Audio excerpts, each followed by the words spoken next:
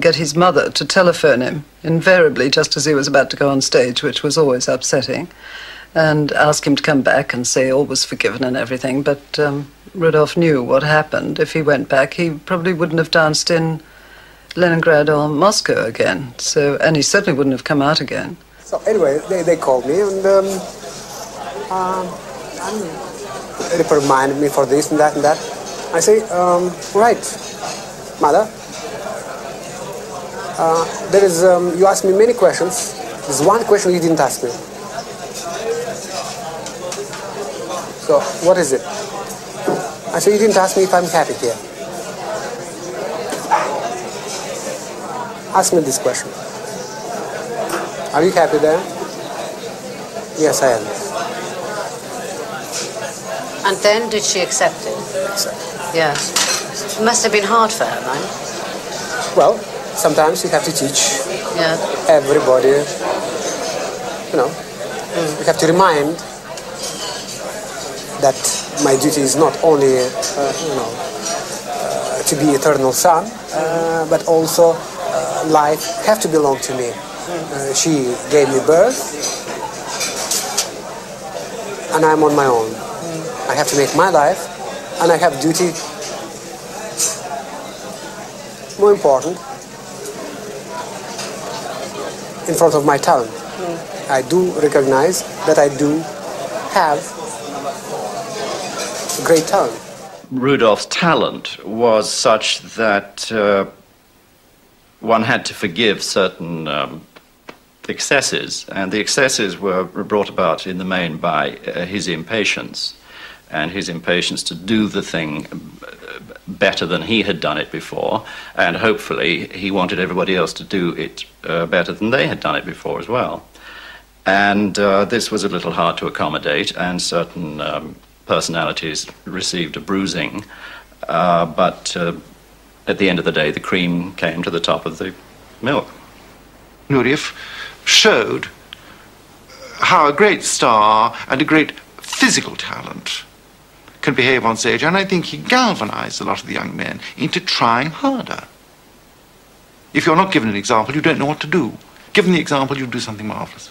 Well, immediately, of course, uh, there were um, grumblings and a certain amount of uh, malcontent. I mean, various people who'd worked for years suddenly felt that they were losing parts. But the younger ones, after they'd got over the initial shock, uh, had before them uh, an example, and all uh, physical performers work from example. There's no point in telling a physical performer about something, they have to see it. And to that extent, for the first time, they, they had a template, which was a physical template, and they all said, ah, that's possible. Oh, well, of course, it gave you incredible ambition and stimulated you so much and uh, made you want to be just as good, you know, in your own way.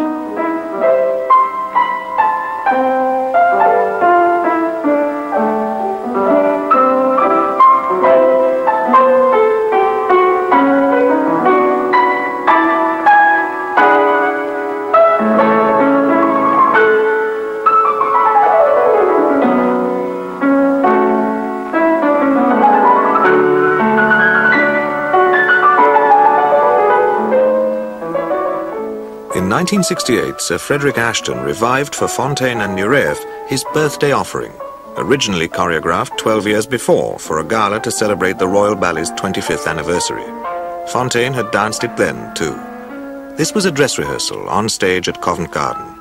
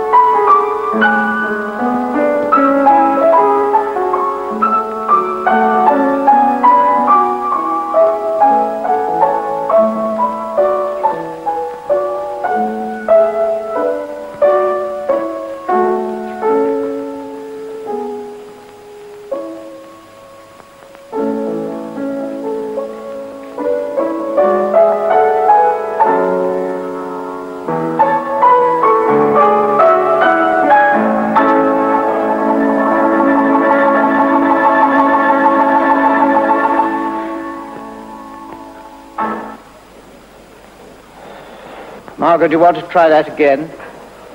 Is the tempo all right?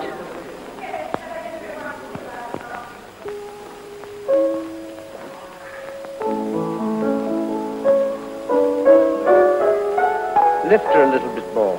Come on.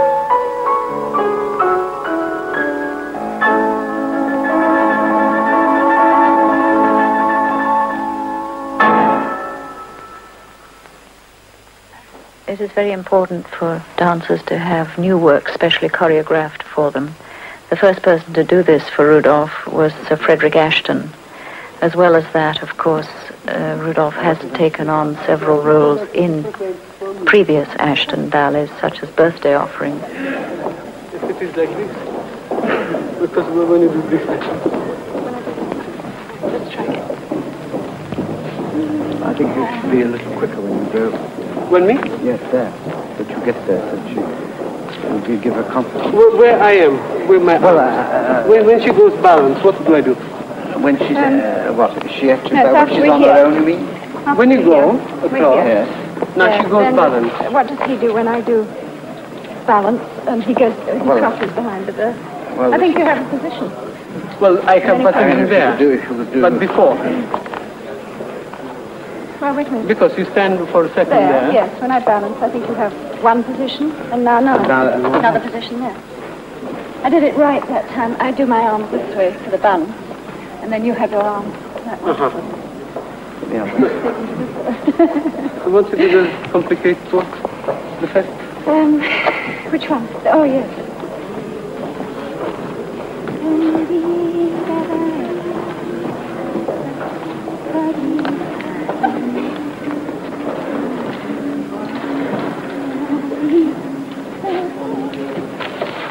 it, if, if you give her absolute flat. Some occasion she lands up that way. No, I wait. If he's fine. Oh, wait. This go then? Yes, that's all right. uh, Don't get too, don't get too, Rhapsodic? don't get too near, yes. Uh-huh. uh, Too rhapsodic. Too rhapsodic, don't get too affectionate. This side, please. Yes. There? Yes, there, stop there. All right. One thing, people always think that one's dance, one dances very easily, and they don't realize that it's, uh, of course, a tremendous um, effort. It requires enormous work, an enormous amount of practice, and that the actual uh, performance on the stage of a very short variation of half a minute or a minute is a tremendous effort of concentration and of energy, strength, control during that half minute.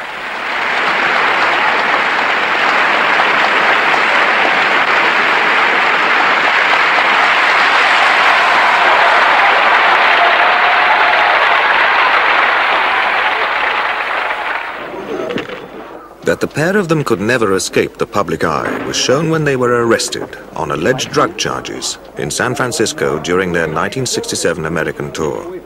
A party they had unwisely visited in the hippie district of town was raided by the police in what seemed a put-up affair. Could I take it with me? This. I need. No, no, we have to keep this, but if you want to copy it while you can, the number is 3191.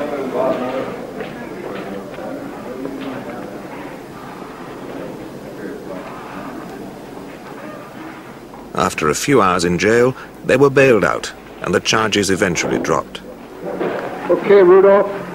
Here, sign your, sign your name.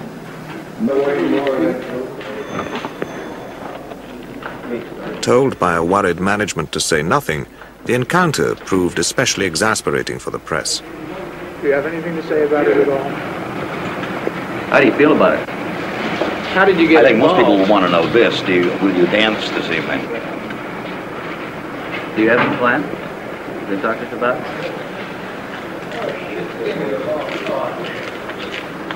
Are they treating you?